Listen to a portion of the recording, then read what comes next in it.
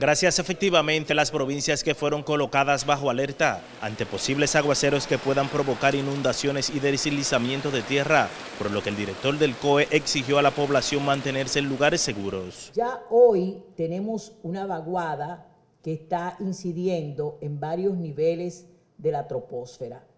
Además de la vaguada, se combinan otros factores meteorológicos que apoyan y favorecen esas precipitaciones que se esperan.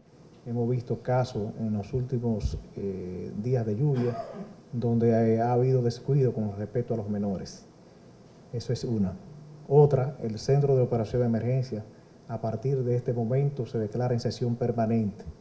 Las proyecciones de lluvias podrían alcanzar el fin de semana prácticamente completo al indicar que este primero de mayo inicia oficialmente la temporada convectiva sobre el país, extendiéndose durante los meses de mayo, junio y julio. Las autoridades precisaron que durante todo lo que resta de semana se registrarán fuertes aguaceros. El mes más lluvioso en el territorio nacional, combinando esa situación de abril lluvioso, inicio temporada convectiva, mayo el mes más lluvioso, manifestó que las altas temperaturas, abundante humedad y la inestabilidad aportada por los diferentes efectos locales y sistemas meteorológicos provocarán las formaciones de nubes con gran desarrollo vertical generadoras de aguaceros, truenos, rayos y fuertes vientos.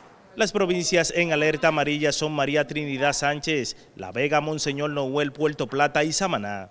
Mientras que en verde están Distrito Nacional, Provincia de Santo Domingo, Hermanas Mirabal, Espaillat, El Ceibo y La Romana.